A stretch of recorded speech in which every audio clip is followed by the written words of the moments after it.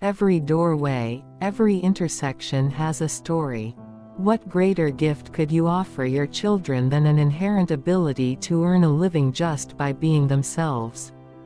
We survive until, by sheer stamina, we escape into the dim innocence of our own adulthood and its forgetfulness. But the idea that women can't take care of themselves still permeates our culture. The only liars bigger than the quack are the quack's patients.